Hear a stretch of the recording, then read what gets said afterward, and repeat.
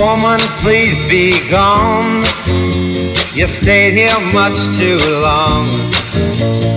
Don't you wish that you could cry? Don't you wish